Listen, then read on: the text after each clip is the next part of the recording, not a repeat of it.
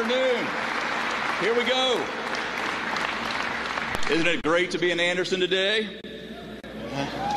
I was here just a couple weeks ago with my mother in law, who's in the house with us, and we were attending the Night of Thrills, the Anderson Speedway. If you're a local, you know what that means. If you've been to the Night of Thrills once, you've been twice because you simply don't believe what you saw the first time. It is an experience that is absolutely hard to top. But having, having the sitting vice president in Anderson, having a sitting vice president who used to govern this state, having a sitting vice president who used to represent this city, who used to represent this district in leadership in Congress, that's what I call a day of thrills in Anderson.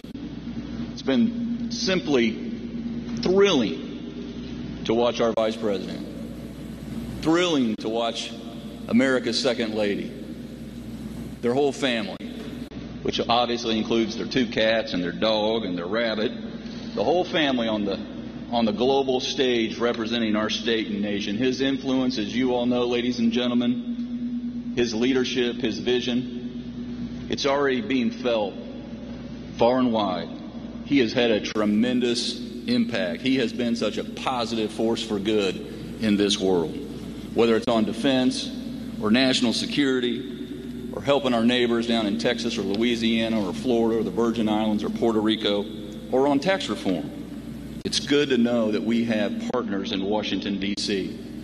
And it is time to seize the day and deliver just like we do in Indiana, just like he did in Indiana, making this state one of the best taxpayer friendly states in the United States of America. And he's got a plan to do just that. Ladies and gentlemen, welcome back home in Indiana, a Hoosier born and bred, the Vice President of the United States of America, our friend Mike Pence.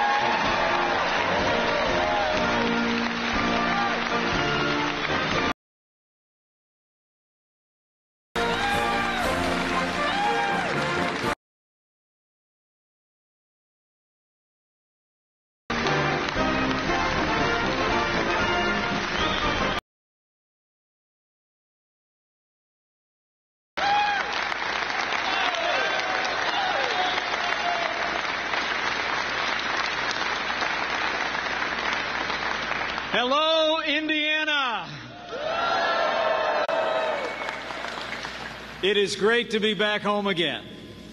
And I'm uh, so grateful. So grateful to see so many friends and neighbors come out on a Friday afternoon. And I just hung up the phone from the man Indiana voted overwhelmingly to make the 45th President of the United States of America, President Donald Trump.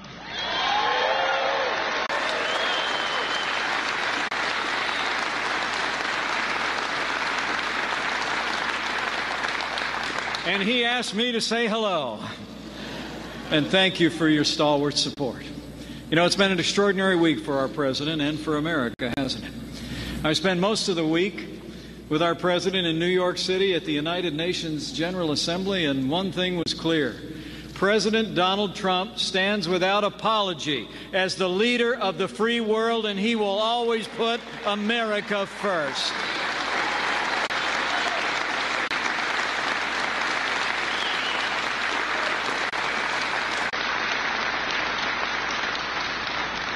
And I'm pleased to announce that uh, the president's actually coming to India.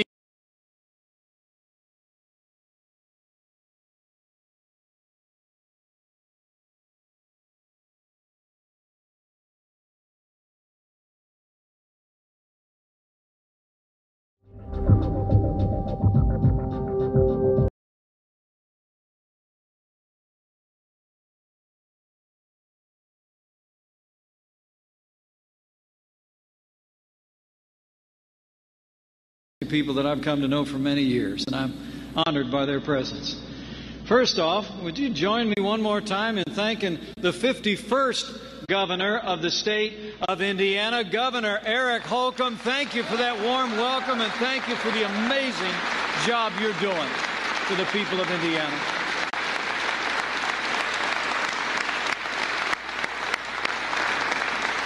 I'm also honored to be joined by Senator Joe Donnelly. Senator, thank you for joining us today. We're honored by your presence. Thank you, Joe. And uh, it gives me uh, gives me special special warm feeling to greet members of Congress who I've served with in the House of Representatives. Congresswoman Susan Brooks, Congressman Todd Rokita, and Congressman Luke Messer are here. Thank you so much for your service to Indiana and your strong conservative support.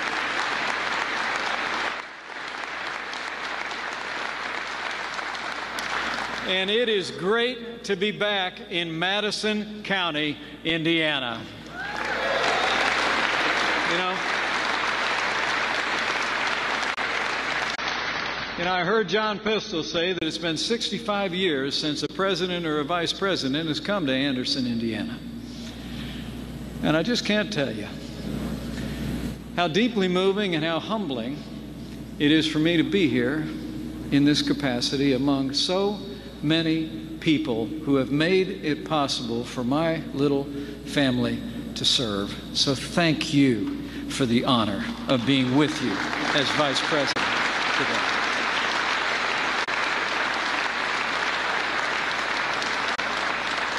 And it's great being here at the Flagship Enterprise Center. As you just heard from my friend Chuck Staley, I have a long history with this center. It's remarkable to see how much growth and the difference that it makes in the life of this city. Why don't we give Chuck Staley and the whole Flagship Enterprise Center a team round of applause. Thanks, Chuck. You know, as this center shows every day, business is booming right here at the crossroads of America and here in Madison County, Indiana. People are creating jobs and prosperity for the people of this city and the people of this state. And rest assured, since day one of our administration, President Donald Trump has been working tirelessly to get our economy moving again, and the results speak for themselves. This president has already signed more laws to cut through federal red tape than any president in American history.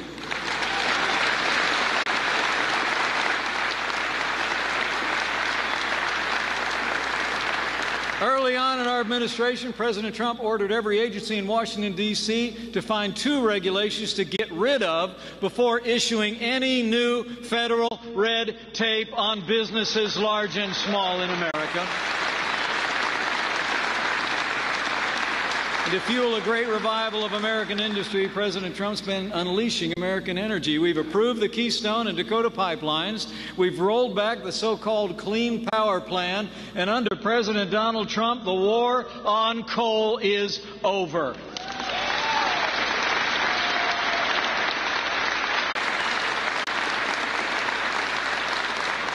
You know, in a word, under President Trump, America is back.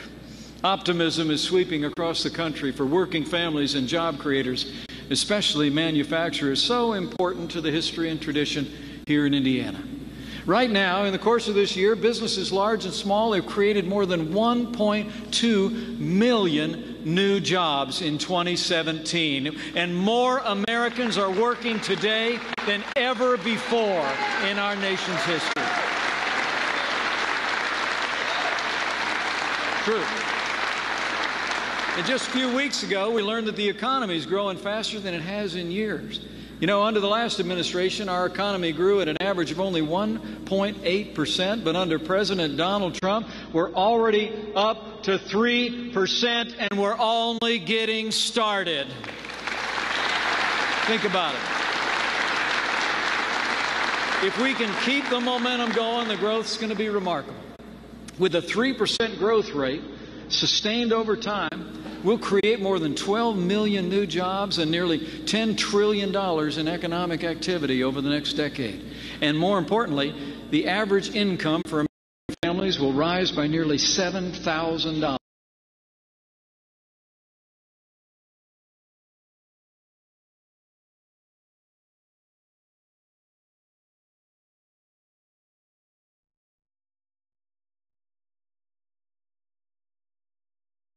Security of the American people. And I got to tell you, and many of you have known my family for a long time, as the proud father of a United States Marine by the name of Michael J. Pence, I couldn't be more proud to serve as vice president to a president who cares so deeply about the men and women of the armed forces of the United States and our veterans.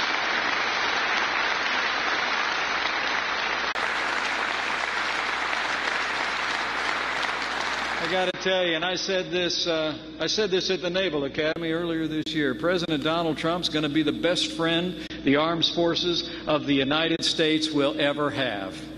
This president has already signed the biggest increase in defense spending in nearly 10 years. And we're working with the Congress right now to pass the largest investment in national defense since the days of Ronald Reagan.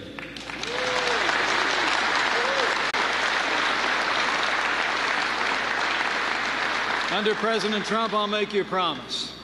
We're going to work with these leaders in Congress, in both political parties, and we're going to rebuild our military. We're going to restore the arsenal of democracy, and we are once again going to give our soldiers, sailors, airmen, Marines, and Coast Guard the resources and the training they need to accomplish their mission and come home safe. That's our pledge to all of you and to them. So, it's prosperity, it's security, it's strengthening America at home and abroad. That's just what President Trump likes to call a good start. And he sent me here today to deliver a message to you and to uh, deliver a message to Congress that we need to do even more to get this economy moving again. And that all begins when Congress will at last vote to repeal and replace Obamacare.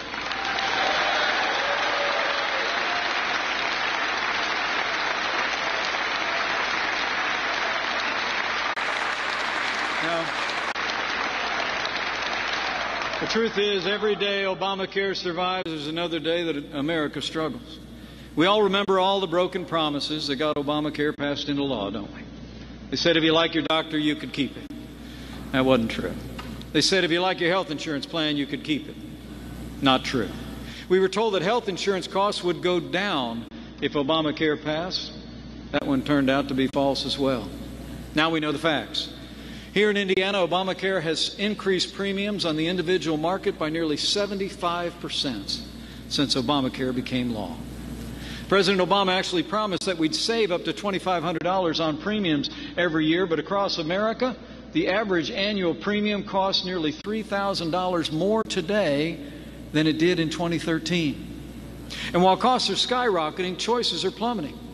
Next year, nearly half of the counties in America and nearly 70% of Indiana counties will have only one choice of health insurance providers, meaning they'll essentially have no choice at all. In fact, even our own hometown insurance company, Anthem, has pulled out of the Obamacare exchange here in Indiana. And Hoosiers know the truth. Obamacare has failed, and Obamacare must go.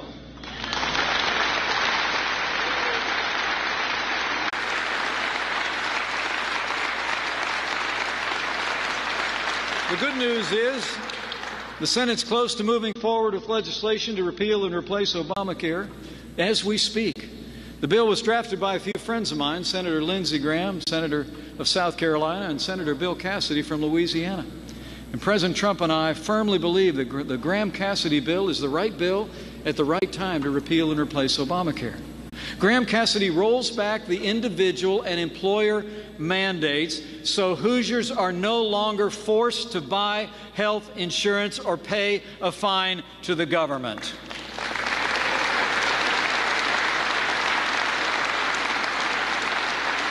Graham Cassidy contains the largest ever expansion of health savings accounts so Americans buy the coverage they need at the price they can afford.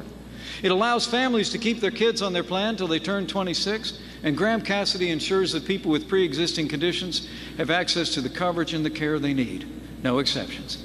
And finally, Graham Cassidy will give states like Indiana unprecedented freedom and flexibility to craft our own solutions for health insurance and to reform Medicaid for the most vulnerable to bring better coverage, better care, and better outcomes for the people of this state and every state in America. In fact, when Graham Cassidy becomes law, Governor Holcomb will be able to finish what we started with the Healthy Indiana Plan.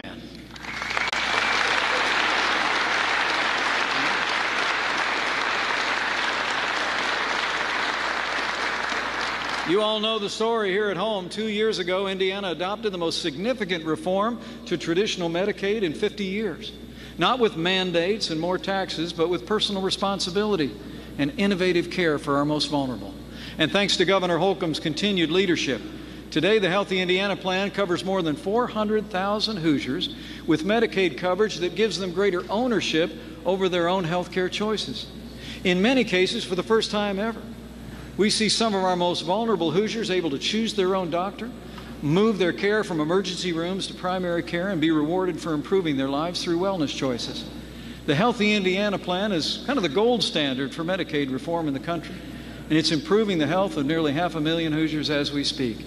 And I believe every Hoosier should be proud that on health care reform, the Healthy Indiana Plan is leading the way in America.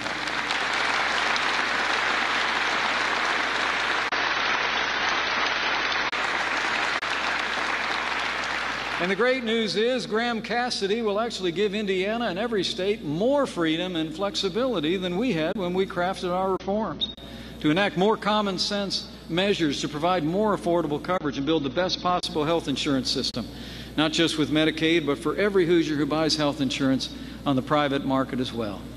Now, I want to say thank you. I want to say thank you to all of you who've supported the efforts to start over on health care reform in America. And I want to thank Governor Holcomb, who just joined 14 governors across America to say that we need Graham Cassidy and we need it now. Thank you, Governor.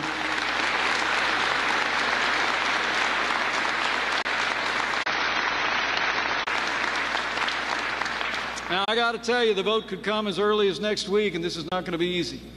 Even now, the opposition is forming up, and some have gone so far as to announce their opposition already. But President Trump and I are undeterred. We cannot, in good conscience, abandon this cause. The American people are hurting. As President Trump has made clear, inaction is not an option. Now, let me be clear. A vote against Graham Cassidy is a vote to save Obamacare.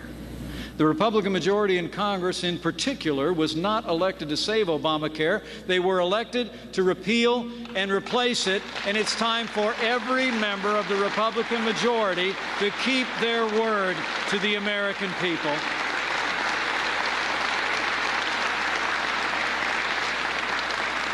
But we're asking the, the, all the members of that majority, and we're asking all the members of the United States Senate, give Graham Cassidy a fair look. Vote to repeal and replace Obamacare and give our country a health care system based on personal responsibility, free market competition, and state based reform. That's the American way to give the American people access to world class health care in the 21st century.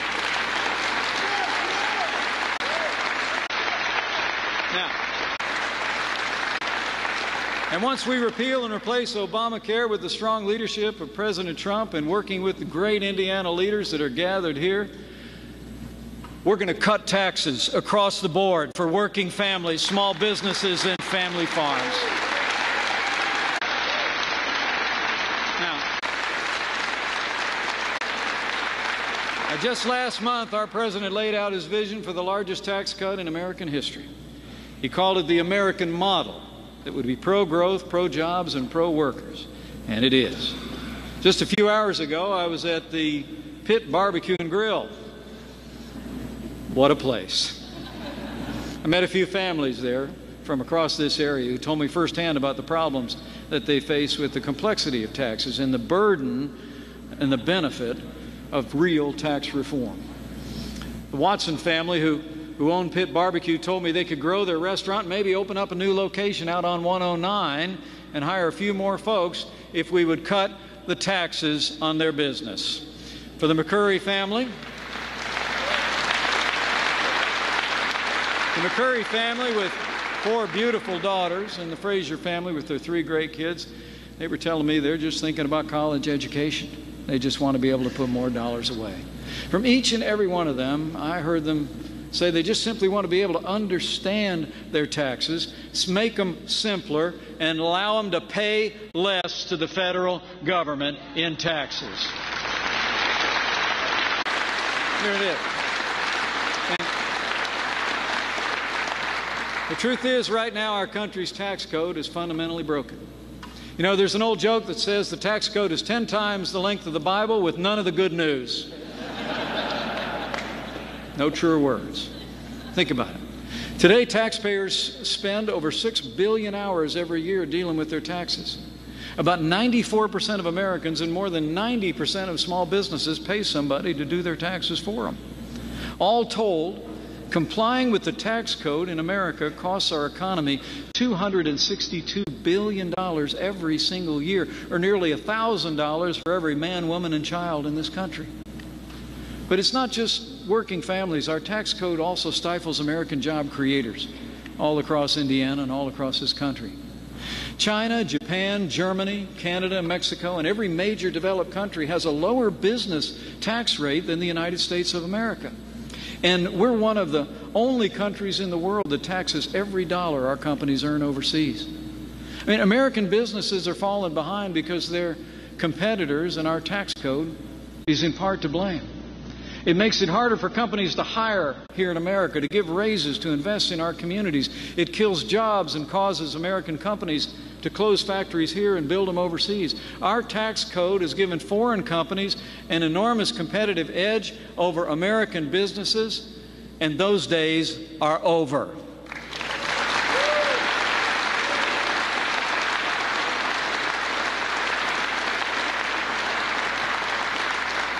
Under President Trump's leadership, we're going to put more money in the American people's pockets. We're going to put our job creators back on the road to success. And President Trump is going to sign before the end of this year a tax cut that will put American workers and the American economy first. Here's what we're going to do.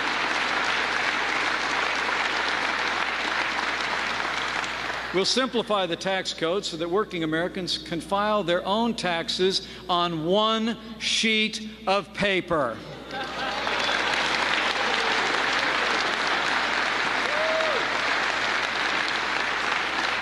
We're going to cut tax rates on working families so they can keep more of their hard earned paychecks and get ready to pay for all those kids' education.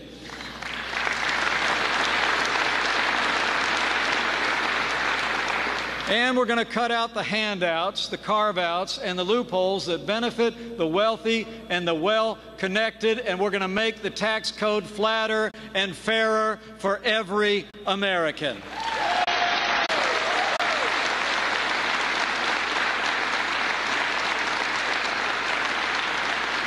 And when it comes to businesses, President Trump is going to make sure that we cut the business tax rate in America so American companies can create good paying jobs right here in America.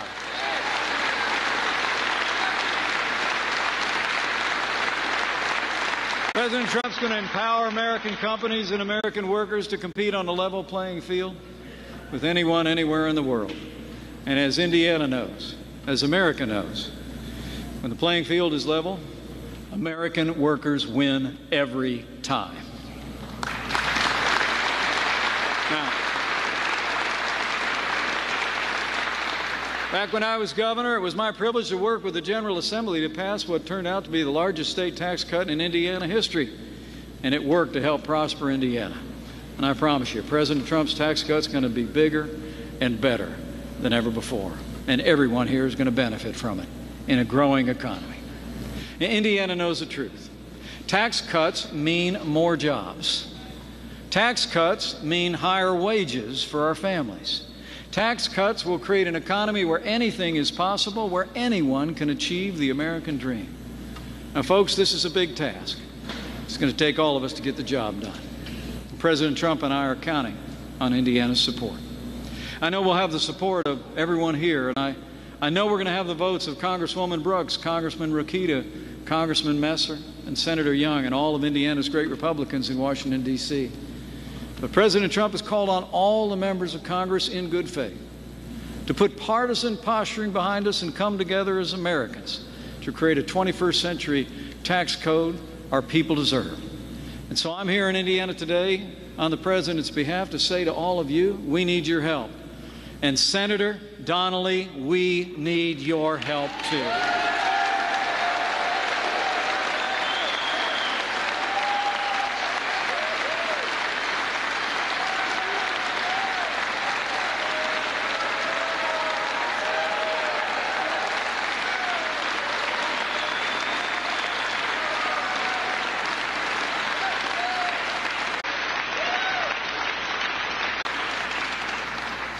Indiana needs this tax cut. Hardworking Hoosiers need this tax cut. So, Joe, let's decide today. We're going to get this tax cut done, and we're going to get it done together.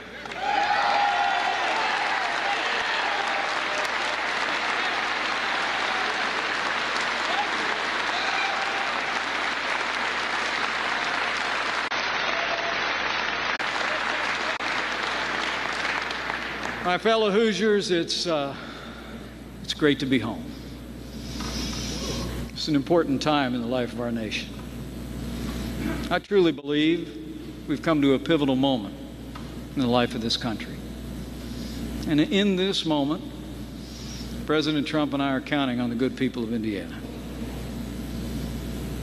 So I say to each and every one of you, I'm grateful that you're here today. But with the challenges that we face at home and abroad, now more than ever is the time to let your voice be heard. Let the people who serve us hear from you on these important and pressing issues of national security, health care, economic growth, and tax cuts. Tell them you know Indiana and America can be stronger and safer and more prosperous for this generation and the next. President I need every ounce of your energy, your enthusiasm, your conviction, your commitment, your voice, and your values. And among so many of my friends here, I'll say with some confidence, we need to rely on one more thing. In these too divided times in this country, if you're of a mind as well, I'd encourage you to avail yourself of that source of strength to which Americans have repaired throughout our history. Bow the head, bend the knee. It's a good time to pray for America. And when you pray, pray with confidence. Because I truly believe those words recorded millennia ago are just as true today as they ever were. That if His people, who are called by His name, will humble themselves and pray, He'll hear from heaven and He'll heal this land, this one nation, under God, indivisible, with liberty and justice for all.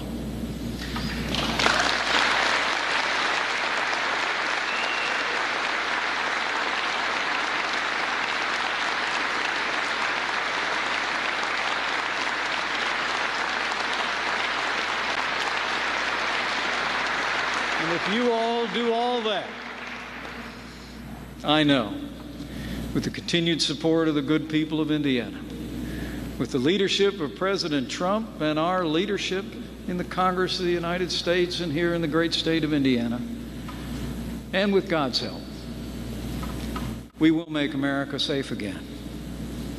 We will make America prosperous again.